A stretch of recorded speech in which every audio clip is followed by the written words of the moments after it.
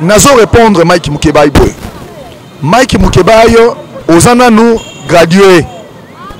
oza gradué oza diplôme intermédiaire na université ezalaka te luka otanga classe mike mukebayi okotelema ata na talon ya fayulu te okokoka te fayulu c'est un docteur en économie yo okoki jamais kotema yo oza gradué d'ailleurs na niveau d'étude na nga oza te fayulu celui qui a conduit la coordination ya dynamique etienne tshisekedi président yo ozalaka wapi papa union sacrée wana bakoloba wana ezali nango kaka fcc cash bis quand fayulu refuse makambo na meko ya esa bino mpasi pwani bino bolingo osaka na politike na ye eloko ya malongo ekozala te na kati ya union sacrée wana na tendon rien et rien eloko ekosalamela te Denis Kambayi. Denis Kambayi akoloba ke euh, euh, ye afadere na kati ya Union Sacrée. Denis Kambayi après baba prouesse Kabila uti opesa baba baba bomengo Kabila pesa gouverneur asali le ministre boye boye boye boye. Kaka olali na ndoto la mugi mbala moko ebisi biso ke ko na Union Sacrée.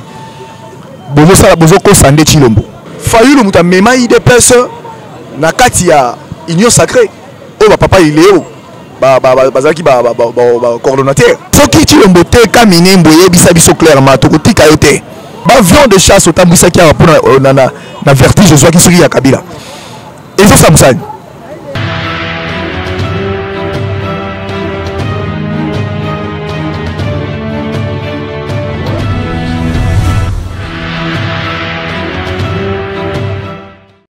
Ouais, mbote mwana mboka euh,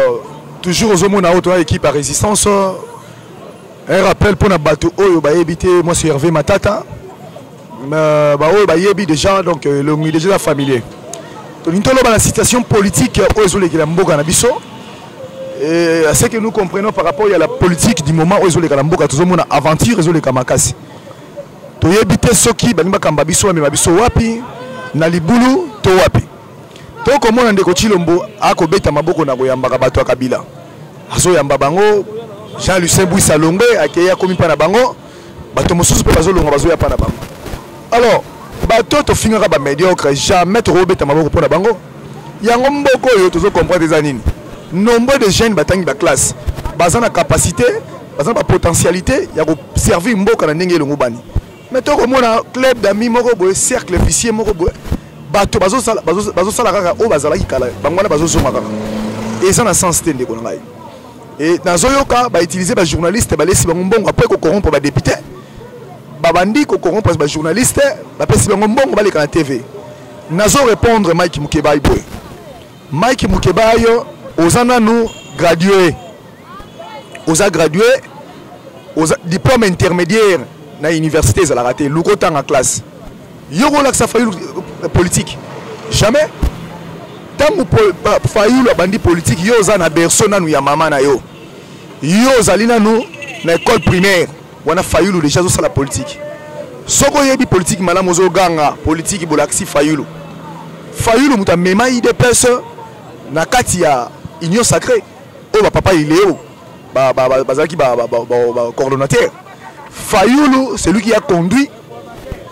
la coordination ya dynamique etienne tshisekedi président yo ozalaka wapi tu n'as pas un niveau okoki kopesa fayulu ata cour politique ata moko te biso nde tozali awa toyebi sio keba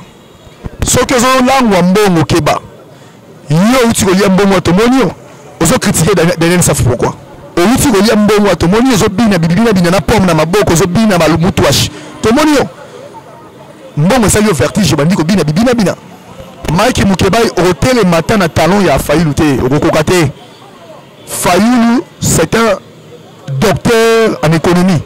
yo okoki jamais kotema yo oza gradué d'ailleurs na niveau d'étude na nga oza te soki ozolia mbongo lia mbongo na malembe tocomprendre ke papa oyo mbayemba nzembo moko aloba keba lubwaku ebebisaka moto boloko nde euti ebebisi yo motu ozomiyeba te olobaka na contradiction outi kofinga gode mpo yawa yo moko oleki na tv osengi bapardon banda okota na assemblée provinciale wana eloko nyama longo loba la ville de kinshasa ndenge eza eloko nini ya malonga yo oloba mike mokebai papa okoti boloko okolela lokola mwana mawa okoya lokola mwana mawa basangisele mbongo balesa libota na yo babimiso na boloko eleloko monoko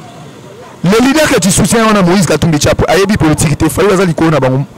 et puis grave okesi kosimba excellence muzitu muzitu wana ozosimba wana oza na niveau na ye te mike mukebayi journalisme osala na, na, na, na ifasi kosuka na g3 diplôme intermédiaire ezalaka te kende kotanga classe tu manque de niveau moto ebebi yo oza na moto epola ndeko mwana mboka to komona lisusu bato bakoganga makambo ya union sacré papa union sacré wana bakoloba wana ezali nango kaka fcc cash bis eloko ya malonga ezali te eloko ya malonga ezali wana te union sacré wana oyo bokomona wana eza nango fcc cash parce bilongi nyonso ya kala ya, ya fcc eza na kati wana e kabila va régner toujours na babloko azosalisa wana na tshisekedi makambo ya koloba grave ezali minembwe on a tue les gens babomi bato na minembwe babomi bato ya minembo lobi babomi bato ya minembo me bato ozolobela yango te e bato bazosala ata euh, allusion moko te na likambo wana ya monene bongo azoboma bato bamai mai batue basakache bango aujourd'hui là il y a il y a des mercenaires oyo baza na kati ya mboka bazobundisa mboka bitumba ata décision moko politique ezozwama te mpo na bandeko na biso soki cilombo teka minembo eyebisa biso clairement tokotika yo te okolakisa biso minimbo wana faire wana eza nini pourquoi yo na niveau assemblée osalaki mokanda te olobaki no na nie décision ya nomination ya bourgmestre minimbo obetisa yango kara mais lelo oyo ozoya kobana biso union sacré okosangana na barwandais na loyenge okende kosangana na barwandais na baloyenge biso tokoya te quand fayulu refuse makambo na bino ekoya esa bino mpasi pwani bino bolingi bosakana na politike na ye biso moto tokodeside peuple moto akodeside parce que peuple nde moto apesaki confiance lamuka ezali eloko ya peuple lorsque peuple amoni ozali caméléon change couleur okende na gauche koluka mbongo okende na droite koluka mbongo biso politike ya bongo tosutenaka jamais bapolitisien ya lolenge bongo tomona yo okosa biso moïse ozokosa biso on ne peut pas être à la fois diable ozala ange ezalaka te tikala na union sacrée kende kondima bokonzi ya moyibi ya Tshilombo parce que vous vous soutenez les antivaleurs bino mpo na bino baantivaleur nde yango eza meilleur mais biso lokola tolingi bavaleur yango omoni tozo s'attache na bato baza na valeur bemba jusque là oyaka bareunion ya lamuka te koloba na biso te koyaka lamuka jamais Wana lamuka te koyebisa biso bongo te Moïse depuis Martin Fayulu azwi coordination ya lamuka baye réunion mokolo nini et ba décision ya lamuka bazwela yango wapi et puis les gens disent que j'adhère na union sacrée ozo s'adhérer français toyebi français malamu hein? j'adhère ozo s'adhérer na nini est-ce qu'il y a un papier contrat moko boye bozo s'adhérer nango oyo esalamaka na butu e bureau ya union sacrée yango ezali fondement nango juridique eza nini papa bozokende kosadere nde na cope alar tokoprendre yango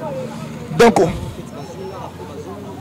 non biso yango tozoboya politike ya cameleon na butu olie na diable na moi olinga olia na ange politike biso tozoboya nde yango wana tocomprendre ke eza club ya mi moko boye basalaka euh, tour ya politike deni kambai deni kambai denis kamba ya koloba ke eh, eh, ye afadere na kati ya union sacré denis kambai après baprouese kabila uti opesa bomengo kabila apesi yo gouverneur asali yo ministre boye boye boye boye kaka olali na ndoto olamuki mbala moko oyebisi biso oke na union sacré bozosala bozokosa nde chilombo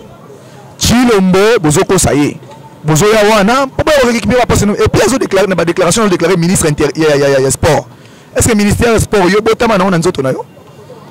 oza koluka poste ozoloba bango na tv epuis ozo oblige bemba na moni nde basakani na bemba na moïse aza oblige bemba na moïse bazala bakandida te basoutenir ya chilombo wana eza makile koganga kikasayen esali na nzoto na bango donc eza club de kasayen oyo bazalaki na fcc badetruire fcc baye na ngambo oyo na quelques uns oyo baza ba esprit faible eloko ya malonga ekozala te na kati ya union sacré wana na tendon rien et rien eloko ekosalamela te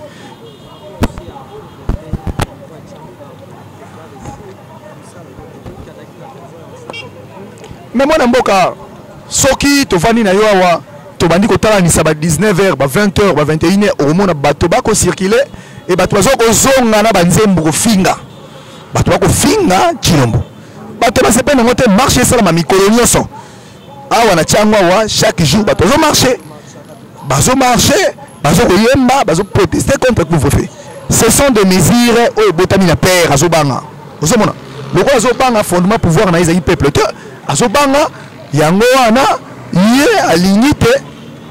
azwa bato acontenir ngo na ndako mpo asala politiki na ye na mobangi oyo azali nango biso toza bana na yo te biso mpe toyebi fondement pouvoir na yo te okotya biso na ndako ndenge nini okotya biso na ndako te bafeti yango oyo moto nyonso aza na droit kofete na bana na ye soki tembe noel na bonne année tinda basoda yo yaka sikoyo otala na ntango tambwisa kamera na yo soki okomona moto akolala na ndako eza makambo ezanga ntina ya motuya eza bandeko bakokufa kuna zwa basoda asala sélection tinda bango kuna baavion de chasse otambwisaki awa mpo na, na, na, na vertige ozwaki soki ya kabila ezosala mosani ezosala mosani donc bino bokomema makambo na loyenge parce que boza enveloppe na nini toyebi déjà mbongo bozozwa mbongo ya mboka bozokorrompre bato toyebi yango politike na bino eza sans fondement politike na bino eza na eloko te eza vide parce que vous n'avez pas la vision monsieur pays vous n'étiez pas préparé mpo na kogere mboka oyo otika kokosa biso mokebai na bandeli koyebisa yo fayulu ya moninga na yo te fayulu ya moninga na yo te mokolo kotya makolo na ntango okoyeba grandeur ya fayulu sikoyo kosaka biso okosaka soki elimbwala kuna okosaka bango awa biso toya ntango soki ntango eboyi yo monde entier eboyi yo biso osalaka bavanti te on va pas tergiverser olekana tv te soki olie mbongo verti yo pesa fayulu kuru opesi nini